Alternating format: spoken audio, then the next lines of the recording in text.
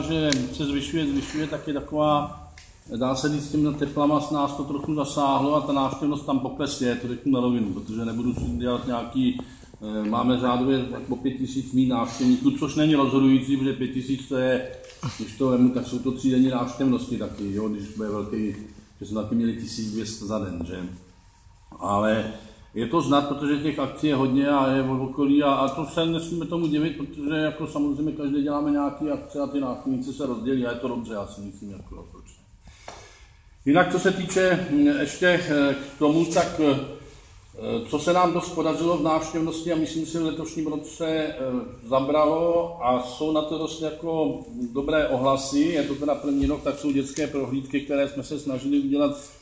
ve spolupráci s šermířema balestra tady, talickýma, který to vlastně dá se říct